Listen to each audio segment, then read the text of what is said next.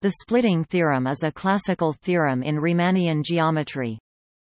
It states that if a complete Riemannian manifold M with Ricci curvature R I C M zero display style erm ric M GEQ zero has a straight line, i.e., a geodesic gamma such that d gamma u gamma v equals u minus v.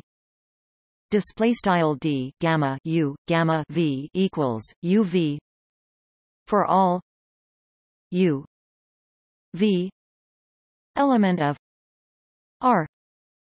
Display style u v in mathb r.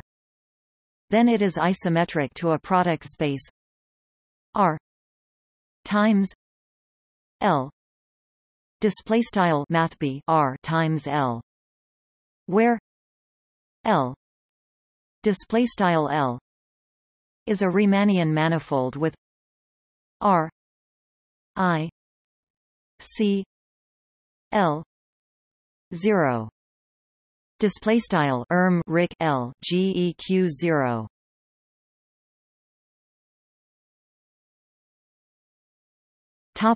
history